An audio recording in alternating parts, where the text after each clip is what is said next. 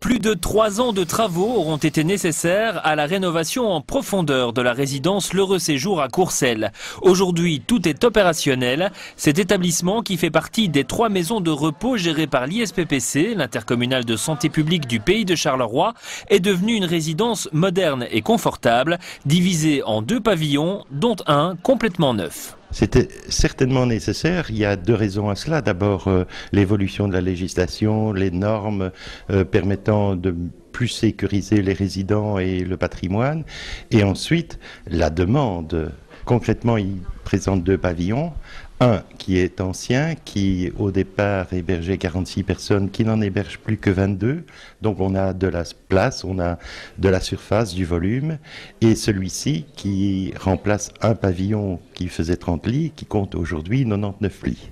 En résumé, après les travaux, la capacité totale de l'heureux séjour reste de 110 lits, mais la principale innovation, c'est l'ouverture de 10 chambres supplémentaires exclusivement dédiées au court séjour c'est une interface entre le milieu hospitalier, le retour à domicile. C'est un peu ce qu'on appelait antérieurement une convalescence.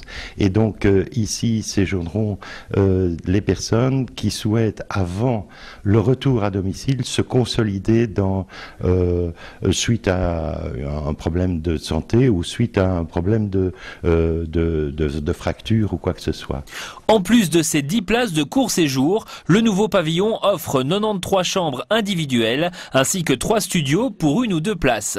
Équipé d'une cuisine relais, d'un service kiné, d'un salon de coiffure et d'une salle de détente avec baignoire jacuzzi et soins esthétiques, il a été agencé avec toujours le même objectif, le bien-être et la détente des résidents. Donc c'est un bain bulle dans lequel les résidents peuvent passer un agréable moment euh, pour se détendre. cette euh, baignoire permet aussi d'éliminer tout ce qui est toxine, euh, d'avoir une meilleure circulation sanguine. C'est aussi très bien pour toutes les personnes qui ont des allergies, de l'asthme, donc c'est vraiment pratique. Et donc dans cet espace, les résidents peuvent passer un agréable moment. L'investissement global pour cette nouvelle infrastructure s'élève à 11 150 000 euros, subsidié par la Wallonie à hauteur de 4 140 85 000 euros. L'investissement est donc lourd pour l'ISPPC qui a également consacré plus de 9 millions d'euros sur fonds propres pour la rénovation de la résidence Pierre Paulus à Châtelet qui sera fonctionnelle d'ici quelques mois et enfin plus de 16 millions d'euros dont 4 500 000 subsidiés pour la maison de repos Quiétude sur le site de Vézal. Au total, l'ISPPC va donc investir près de 38 millions d'euros dans ces trois maisons de repos. On déploie effectivement notre champ d'action, d'autant que les statistiques confirment que la population est vieillissante et qu'il faudra s'armer pour pouvoir accueillir et répondre aux différents besoins. Et les résidents ont l'air plutôt satisfaits de leur déménagement dans le nouveau pavillon de l'heureux séjour, même s'ils épinglent malgré tout quelques inconvénients. Ben, J'ai la douche que je n'avais pas là-bas. On a une grande salle de bain, on a loué ici, on a une douche. Tout est dedans. Hein.